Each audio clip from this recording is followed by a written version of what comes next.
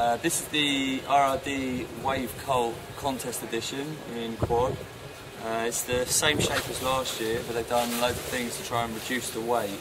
So um, they've used different materials throughout. They've kept the same sandwich thickness through the tail, so it's still strong, but reduced the sandwich uh, thickness in the nose to make it a bit lighter. It's also um, got slot boxes in the front this year, which again saves a few grams. They decided to keep the US box in the tail though, so it's nice and strong when you hit rocks.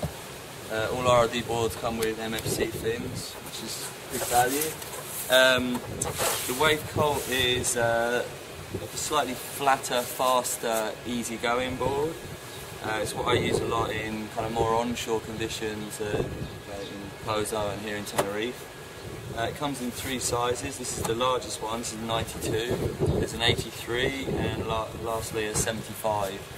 And um, you know, compared with the the hardcore wave, like I said, they're a bit flatter. They're a bit wider.